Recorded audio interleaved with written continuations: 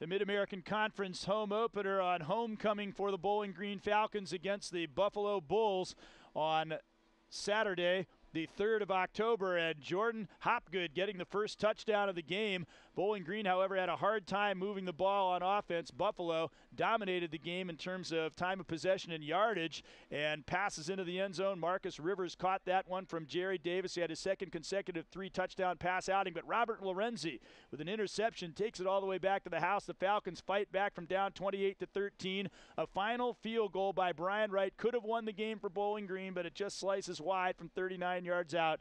Buffalo holds on to a 28 26 victory.